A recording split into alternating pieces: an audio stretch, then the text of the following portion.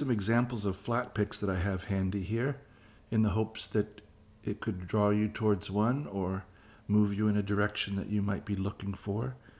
Some of these picks, these John Pearse fast turtle picks, I have to thank my good YouTube pal Muzi for suggesting these.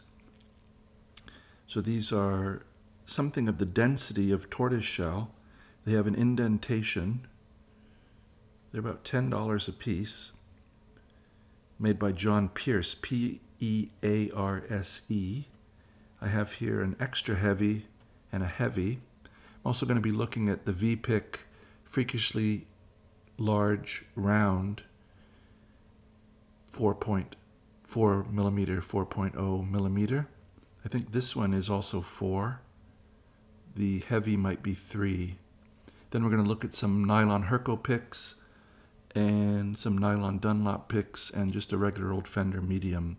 So this is unscientific overview just to give you a little idea. I'm using SM7 Shure microphone here about this far from the guitar just just out of sight of the camera here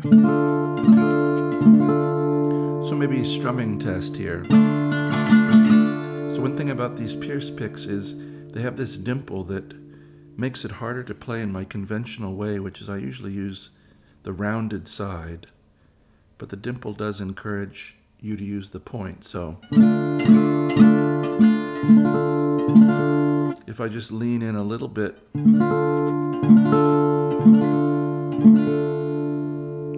it's nice and warm, I think. Here is, for contrast, a Fender Medium. I'm going to use, rather than the point, I'm going to use the customary side that I use, which is the rounded side. So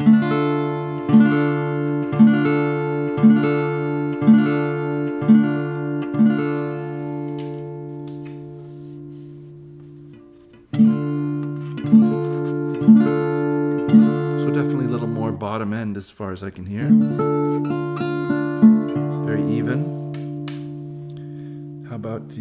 Herco Flex 50? These are great on electric guitar. These are the gold ones. Herco Gold. Sorry, Flex, yeah, Flex 50. I use the dimpled side with the rounded side.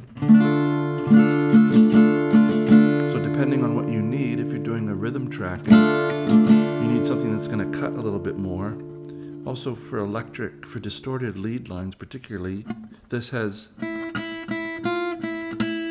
these little dimples that you can, not so great on acoustic guitar, but on electric it's certainly a nice effect. If you listen to Jimmy Page's solo on Tea for One off of Led Zeppelin Presence, you'll hear this pick and the kind of scraping it does, which I think is really nice. Another pick that Jimmy Page is known for is the Herco, this is called the Holy Grail. This is a Herco Flex 75. They're sold now by Dunlop as the Holy Grail. And it's supposed to be the same material makeup as the older ones, but I remember the older ones weren't quite this stiff back in the 70s. So again, it has that pronounced scrapey side the way I'm using it. That zing, I think you'll hear it too in the playing of The Edge from U2 where he uses the dimpled side to get a little upper end articulation. Going back to the Pearse, this should be quite a contrast then. Definitely more low end.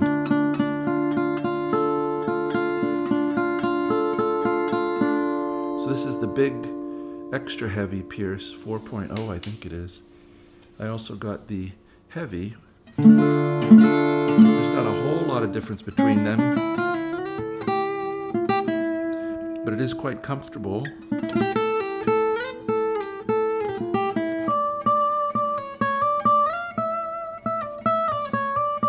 So this is the heavy Pearse. Here's the extra heavy. Definitely has a, a lower hump down there on the attack, but it's quite nice.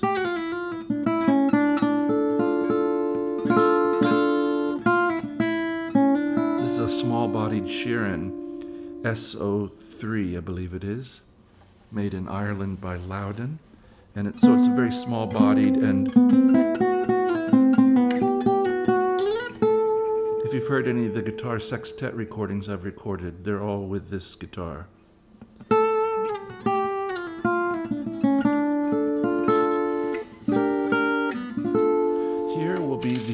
The V-pick freakishly large pearly gates round, which I've used for years now. A little brighter.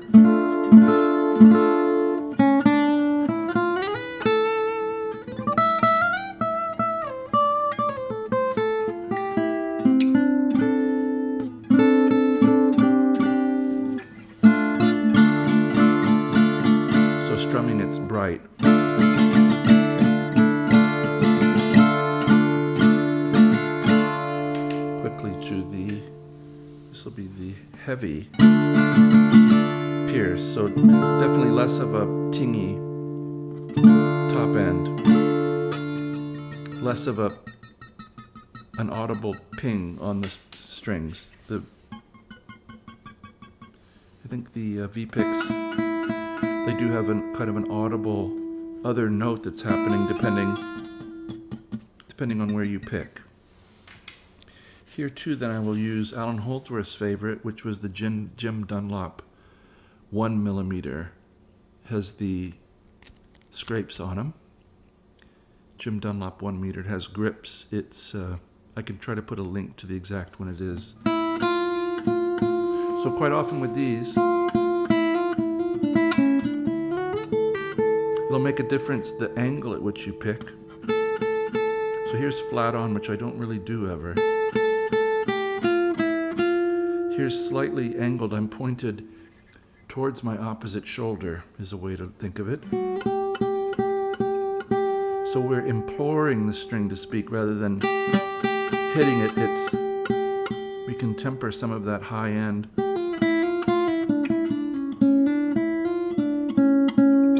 I'm always of the mind that it's harder to get a darker tone on guitar than a brighter tone. So we might as well aim for darker and then we can brighten up very easily if we want.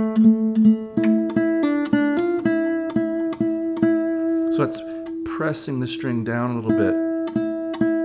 Remember, volume on the string is is equal to displacement. So if I if I pull it back and displace it rather far from its center line, it's loud. So I'm trying to push it down and in. Also, the weakest tone we can get is snapping out.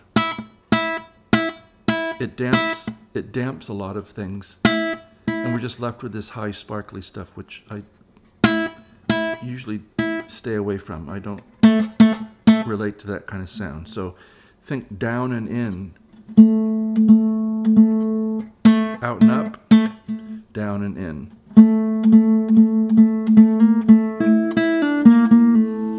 So here's Herco Flex 50.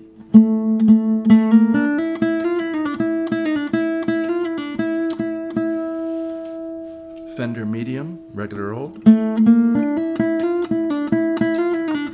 Again, I'm angling rather a lot, pointing this edge of the pick towards my opposite shoulder. So instead of flat on, it's up. Some people do it this way too, slicing this way off, I guess, towards the floor and off of this shoulder. But I like it. This is more the George Benson way too, having the wrist a little lower and uh, being able to mute. I'm almost always holding on to the first string with my little finger unless I'm playing it. So, so it's muted.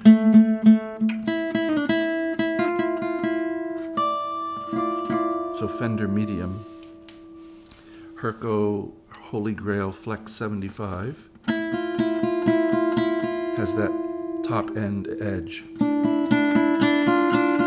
If you use the point, it doesn't, of course.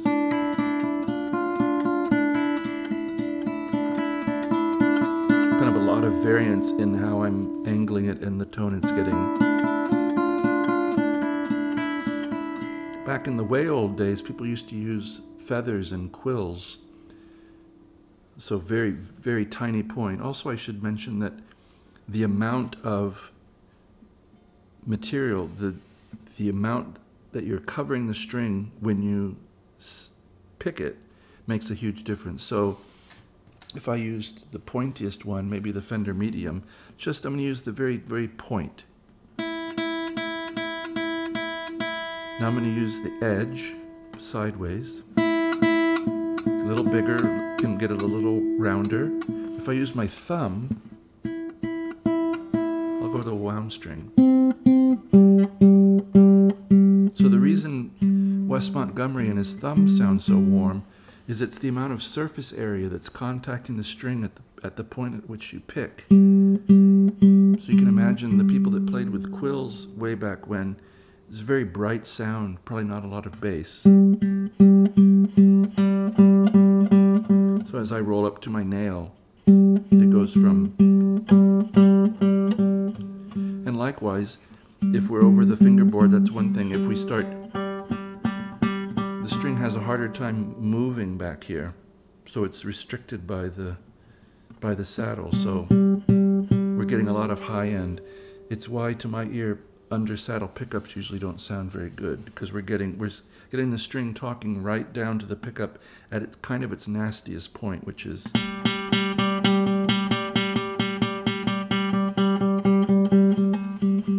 This also has to do with the overtone series of the string. We're moving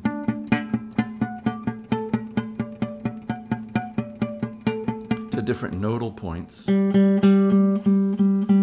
if I go right over the nodal point at the, I'm at the fifth fret here. So if I go to the equivalent 12 frets higher, I'll be at fret 17. If I pick right over that, it gets kind of a fluty thing, especially on electric guitar, on the neck pickup, it gets very fluty. How about I don't know if you can hear that kind of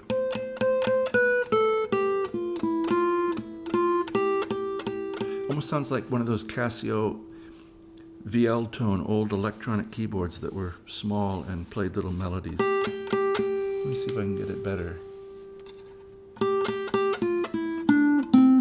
Hear that fluty round harmonic in there?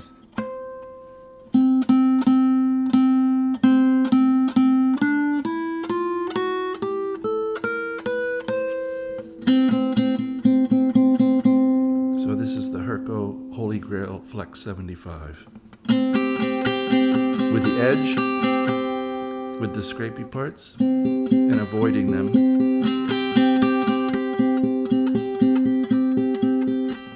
Here's the tip. And I usually take some sandpaper and whatnot and really file down the outer edges to make them a little smoother. I'll go back to the Pearses here to round things out. This, I believe, is the heavy.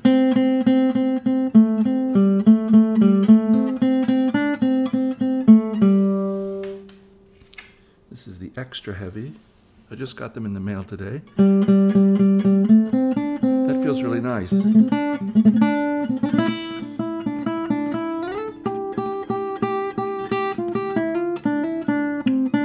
My old friend, the V-Pick Freakishly Large Pearly Gates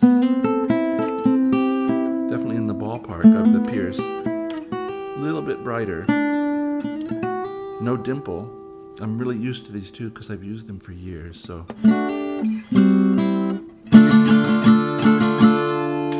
Fender Medium.